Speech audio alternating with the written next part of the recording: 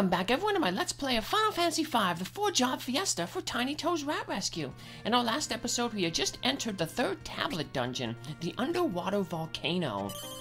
So it's kind of like Final Fantasy Legend 2, we had that one underwater volcano, but no one's mistaken this one for uh, Neptune, like they did in that Let's Play. You should go check that one out if you haven't seen it.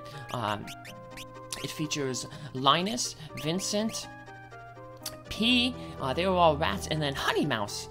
Yes, she gets to ride a big robot suit. Mm-hmm. So, we don't want to hit that switch over there. I'll hit it on the way back. But if we hit that switch, uh, the little land bridge that I'm going to cross after this battle will disappear. So we don't want to uh, hit that. Otherwise, we're going to have to go through lava, or we're going to have to take the long way around. So we don't want to do that. So.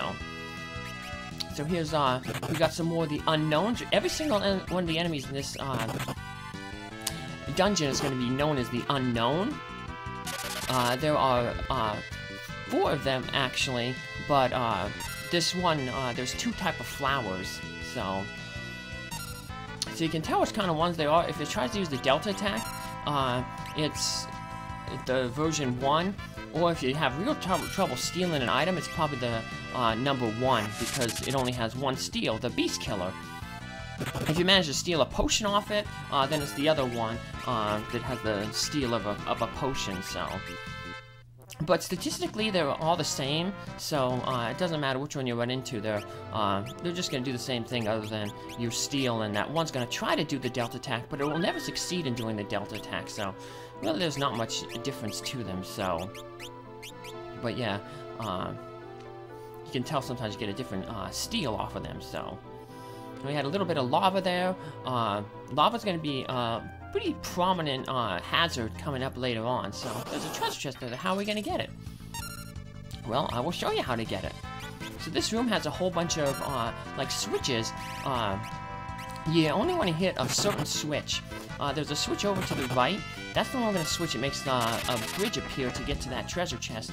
If you hit any of the other chests, um, or the other switches, it'll create a hole and it'll drop you down to the floor below into a pit of lava. So you'll take some damage, so we're actually going to do that just to save some time.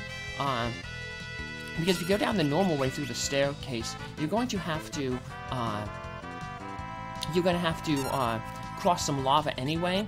So this just saves some time, saves some steps to do a, a random encounter, and, uh, just makes it a little bit easier. Now, to make things easier, when we finally do get to, uh, floors that are full of lava, we're going to want to get into a fight and cast the Big Guard spell. A Big Guard will give us the, uh, the float status, and even though the, uh, the shell and the, uh, protect status will wear off after that battle when we leave the battle, the float status will stay on us, so that'll allow us to walk over the uh, lava safely. Otherwise, you take 50 damage per step, we basically run out of potions and high potions. So we want to hit this switch right here. Donk. We saw that little shaking. And that created that little land bridge up there, so... Across the bridge, what do we get? Ooh, a flame ring. So yeah, I actually bought one too many flame rings uh, back in the uh, Mirage Village, but that's okay. We're going to have more than enough money to uh, buy the other rings that we need, so... Now this one we actually want to hit, because it'll make us fall down this hole. And we skip going down the stairways up there. We only take one pit of damage, so it's not that bad. So, get one little treasure chest. But all those little other um, holes, that's uh, where you would fall in if you hit it at a different switch. So now we're getting into the area where there's going to be a lot of lava. So we're going to want to get into a fight, like I said, to uh, just cast the Big Guard spell. So I'm going to cause a fight to happen here. And unfortunately, I didn't get to cast Big Guard because I fought these skeleton monsters and the last unknown, these ones here, and they have uh, a tendency to cast the uh, the Doom spell. And I uh, I didn't want to cast the uh, Big Guard right away, and because uh, they cast the Doom, so but there we go, I'll see the stats a little bit later. Yeah, I cast the, uh, the big guard there, now I can float. I just fled from that battle. I'll fight it a little bit later, so don't worry, you'll see their stats. But now we won't take any damage on these lava tiles, so that's good. We got two treasure chests here. Grab that last one. Phoenix down. And here we go. Here's the final enemy, the unknown. They're like skeletons. So now earlier, uh, I you saw I used the magic lantern. Uh, it summoned Bahamut. The magic lantern used starts at uh, the strongest summon, which is Bahamut, and then it slowly works its way down to uh, to the last summon, which is the the Chocobo. If you use it a bunch of times afterwards, uh, what'll end up happening is um, you'll get this Chocobo egg, uh, but it doesn't do anything. I'll show off those summons uh, in the next episode. But what I want to do is I want to use the Magic Lantern twice. That'll use the Bahamut summon and the Leviathan summon. Then the next summon after that will be the Odin summon. Uh, Odin, I said, if you use it against the enemy that uh, doesn't have the heavy status or isn't basically isn't immune to instant death, uh, Odin will do that uh, Zangetsu attack and just slice him up. That's going to be really useful for the boss of this uh, dungeon. So yeah, you don't have to worry about the boss at all. It's going to be a piece of cake as long as you have either a summoner with Odin or you got that magic lamp. This boss will never be a problem.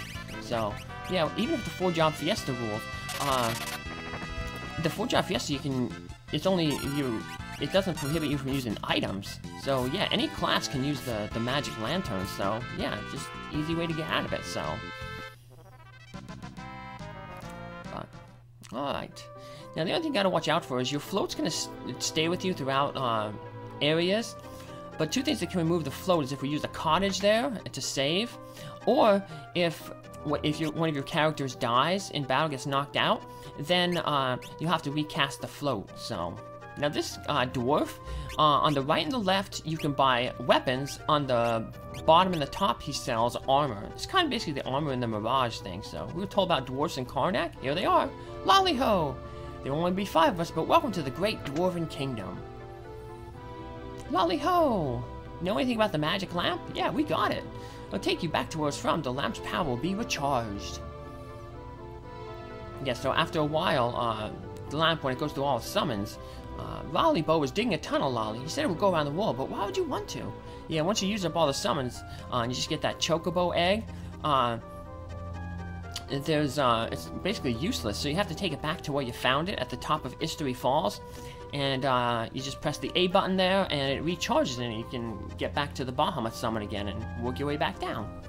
I never worried about it much until now, but it seems like something odd is happening above ground, Lolly. I'm sure a forest is above us. This is your other clue. You combine this with the clue that you got in Crescent about people disappearing in the forest. And it kind of just points you exactly what forest is. So, yep, that's your clues on how to find the Mirage Village. But we already went there. We're to have to go there eventually again later to buy some more of those rings. But first we're to have to leave the Great Dwarven Kingdom. Might as well heal up here. We got a few more rooms to go before the, the boss. So, when we use this um, cottage, unfortunately, while it will restore all our health and our MP, it's going to take away our float status. So, we're just going to have to get into another fight um, to cast float again. So, yeah, we lost our float status, but it was a price, it was an okay price to pay for being able to uh, fully heal ourselves. So, just walk through some water. Woohoo!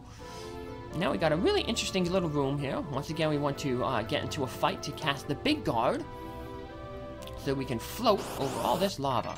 Alright. Now if we try to go and grab this chest, oh, it just, uh, it's a little trap. So in order to, uh, that chest is actually the final switch. We have to hit every single one of these switches. And then that'll allow us to hit the final switch in that chest, and that'll open up that door in front of us. And that takes us to the third tablet and the boss.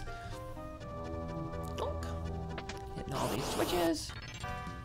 Now, I've been fleeing from any encounter that has the blob enemies in them, because the blob, remember, sometimes it can counter with that possess spell, and that removes you from battle. If a character gets removed from battle, they will lose the float status, so you'd have to cast the, uh, the floats, the big guard spell all over again, so in order to avoid that, I'm just fleeing, uh, I have the flee ability on one of my characters uh, to just run from the battle. So does Kaiser Knuckles. They increase your power if you're unarmed.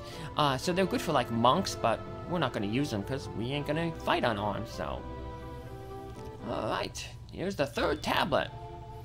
And the third tablet is guarded by the three little piggies. Oink, oink. Exdeath sent us, oink.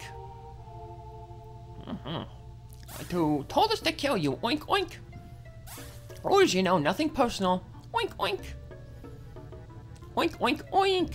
And these guys are gonna huff and puff, but they're not gonna blow our house down because we're just gonna pause the game here. And I'm gonna show off their stats there. So we have uh, three of them there. Uh, they all have the same amount of hit points. Uh, 13,333. Uh, but they, if you defeat one of them, they can revive each other. So you kind of want to defeat them all at once. Now, it's hard to defeat them with elemental stuff and spells because you see some of them, uh, you know, you, you try to use ice, that one up top, the red one will be, you know, healed. Uh, the, the blue one, the bottom will be healed. Uh, if you use fire, uh, the he you'll heal the red one.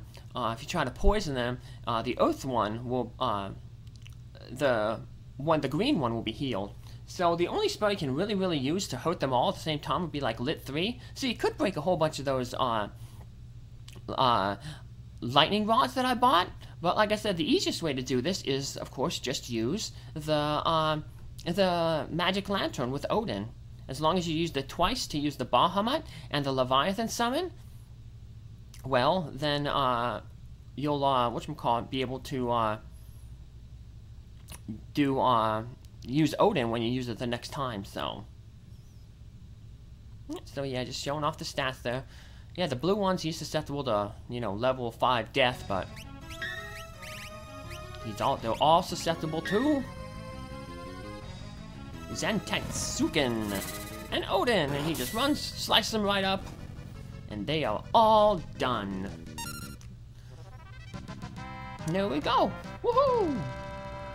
Krile, getting a job level, woohoo. And we get our third tablet, and we also unlock the greatest time magic, Meteo. So I guess they, I don't know how Meteor has to do with time, but I guess they wanted to give uh, some damage spell to, to time magic. They do have Comet, but Comet is a much weaker version of uh, Meteor, so... Yeah. Oh, alrighty. So let's, uh head on out of here. Now it's just a quick, easy run back to uh, back to the surface. So we've already encountered all the enemies here. So yep, unfortunately we don't have that exit spell, so we can't use it. So unfortunately I got into a fight and um, what you call it? Uh, we lost uh, uh, Lenna there. Lenna, before I could flee, Lenna attacked uh, one of those blob enemies, and the blob, blob possessed her, and she got removed from battle, so that's why I had to get into a quick fight there to cast the big guard. I said, otherwise, every single one of these steps, you'll be losing 50 hit points, and... Yep. And, uh, unlike, say, like Final Fantasy 1, where, uh, you'd lose hit points, uh, but you wouldn't, it wouldn't, uh, KO you, uh, this, lava could, you know, give you a game over if you're walking it long enough, so it'll actually knock out your characters, so... And unlike Final Fantasy 1, too, you can get into encounters on damage tiles, so... Yeah, Final Fantasy 1 was nice with their damage encounters. So see, if you press this button here, yeah, see that thing? You'd have to walk through the lava or take the long way around, so... You don't want to hit that button on the way uh, down to the in through the trench. But we're almost out of the trench, and woohoo! We have our second, uh, I mean our third tablet. But speaking of second, we will be taking after this. We'll be stopping at the uh, Kuza Castle because we, we didn't stop by after we got the second tablet, so we'll do some unlocking. I always uh, mess up there. You gotta be careful when you head down here because if you're holding any buttons, you'll get the. Uh, if you're not holding, if you're hitting like the the cancel button, the run button, yeah, when it says like, do you want to rest, you're canceling. You won't rest, so you have to head back up the stairs and come back down just to take a little nap to heal ourselves up. But I don't know how we're sleeping on those chairs. Though. It's not like they not like they recline. Well, doesn't matter. We got uh, healed up, so woohoo! Now we're gonna head up back to the surface, take off on our airship, and head to the Kuza Castle to unlock six more legendary weapons that we will never use. Probably end up just selling them maybe in like the Mirage Village. I guess that's a fitting place to sell them, you know. Or maybe we'll just sell them at, like, say, like, a, a simple village, like uh, a Tule. Uh, you know, that way uh, they're easily accessible. But come back on our next episode where we uh, unlock uh, some legendary weapons and uh, go to some bonus dungeons. Take care. Have a good day. Bye.